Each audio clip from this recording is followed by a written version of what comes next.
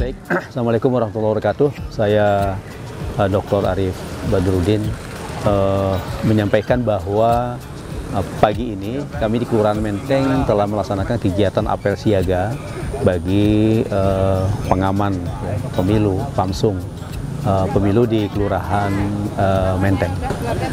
Uh, perlu saya sampaikan bahwa mereka ini tersebar di 48 TPS.